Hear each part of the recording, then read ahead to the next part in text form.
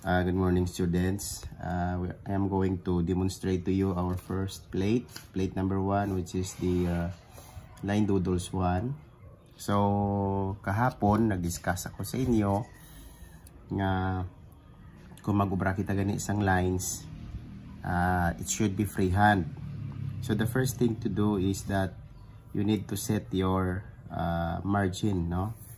So mag-ubra isang margin No, ma-start ikaw diri kung ikaw tuo kung diri amo gamit mo tuo ang stroke mo is from your shoulder going to right.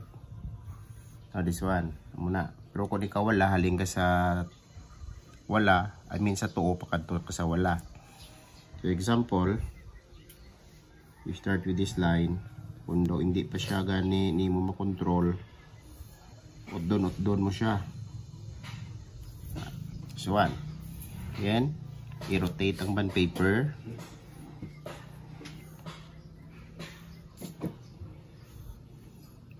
Ah.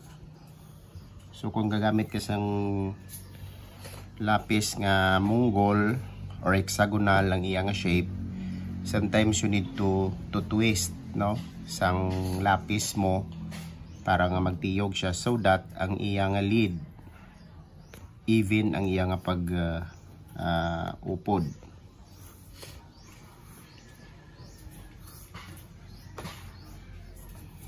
Okay. So do the same to on the other side.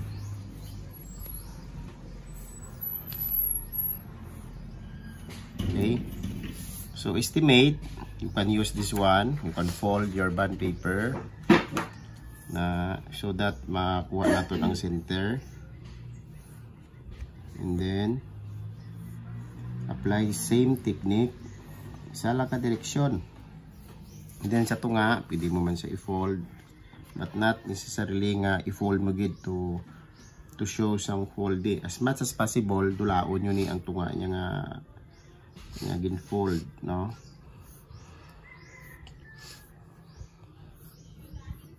Okay. So dire, hindi mo man na dire siya topic. One, so this will be this and there.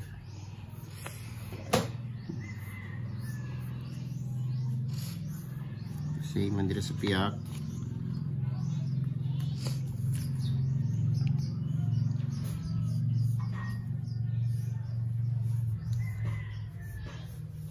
okay. So look at your uh, first uh, module no? The first there is that you need to draw the horizontal line. So this is the horizontal line so be sure that the lines are evenly spaced.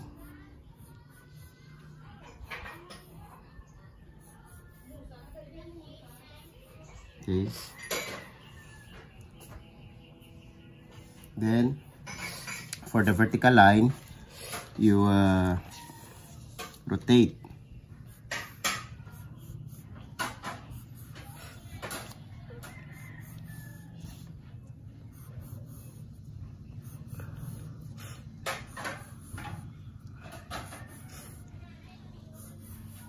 okay? For the horizontal line I, yeah, I mean for the inclined line you do the same. Position your bond paper on this position so that maka-create ka naman sang straight line but with the same stroke. From left to right or right to left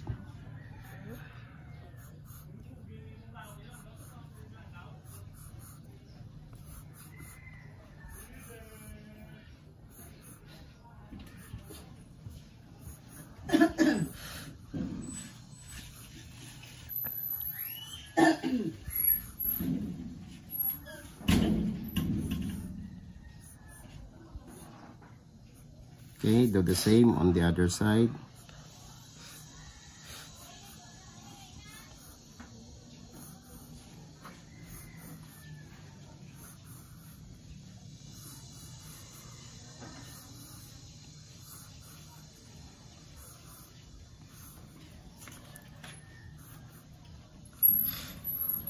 okay next we need to divide this into four equal parts using a guideline. So this time you need to draw a semicircle.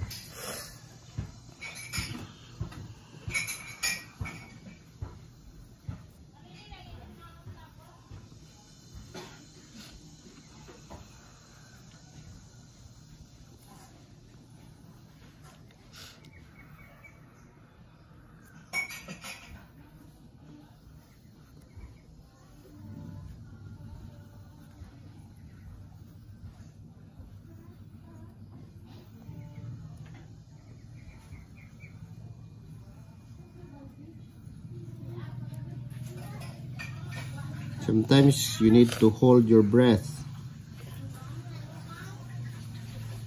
And using this uh, activity, you need also to control your thumb. Okay, the same on the bottom.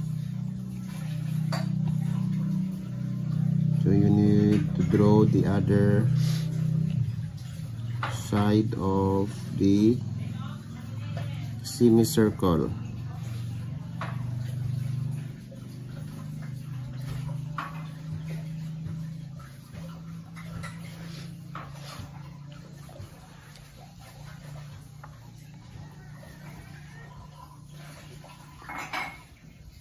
Okay.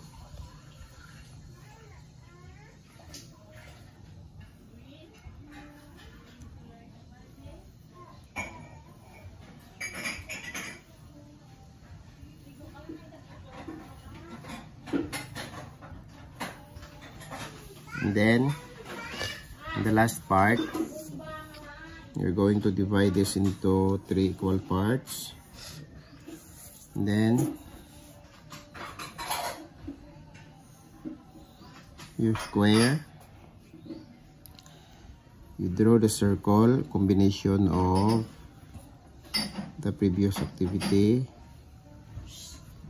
Combine all two semicircle. So as much as possible your circle is really a circle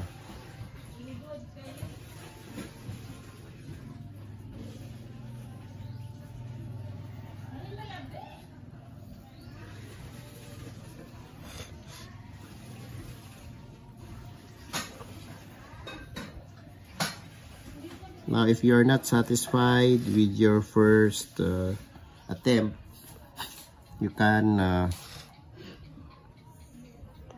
make another one. Okay, then the last here is that the same. You divide the space into four equal parts. Then it is somewhat like elliptical.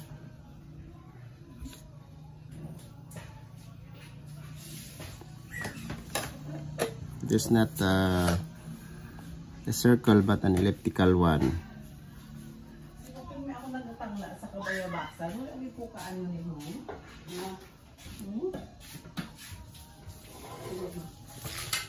Then, same on the other part.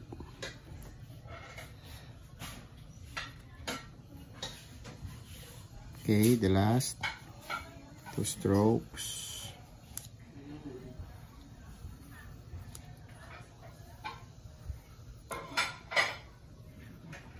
Okay that's it. Then do not forget to write your name below here and then your section no?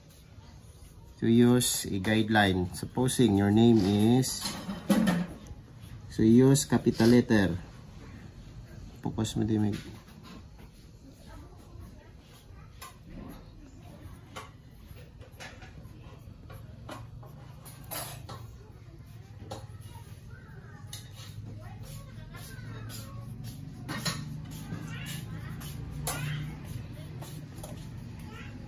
Okay, the title here is Line Doodles.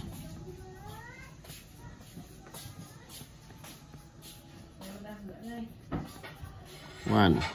Okay, that's it. So this is now your drawing plate.